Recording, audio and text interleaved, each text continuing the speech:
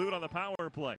Moose Jaw now about to go 0 for 3 in two seconds. Rielly to center ice. Five on four into the Calgary zone, trying to dangle in. Can't beat Rissling, curls it back, looking for something open. Nothing doing, so he'll take the shot. It's into the body of Driedger.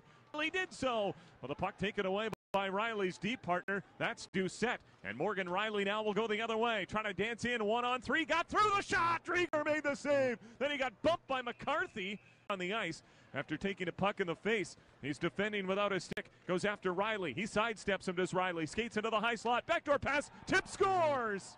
A beautiful play orchestrated by Morland, Morgan Rielly. They're short-handed, and uh, Hitmen are saying, hey, that stick got knocked out of the blue line, and they're going to say, well, we didn't see it or it was accidental.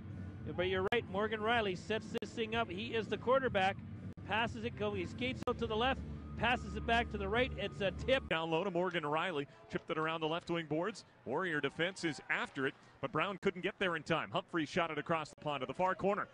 Cornelson bumping Fioretti off the puck. That allowed Masick to chip it down the wall, but right to Fioretti, who muscles it to the line. Not out. Humphreys held it in. Played it down into the right wing corner. Joey Cornelson, the former Moose Jaw Warrior there. So is Masick.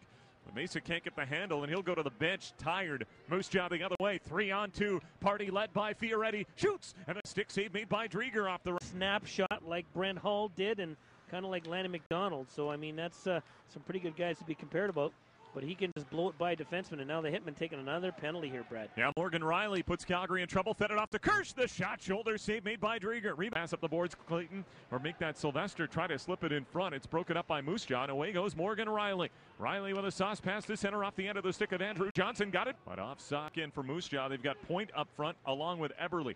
Puck on the boards of the Moose Jaw zone. Instead of Eberle, check that. That's Kirsch.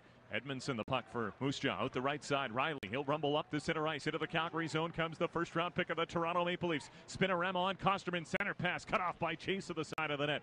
Puck goes back in behind the goal. Rielly still on it for Moose Jaw. To point now to Rielly, steps out from behind the goal. Turn backhander, stopped by Driedger, and he'll hold on to it as Morgan Rielly can. He's got the skill set of most forwards, and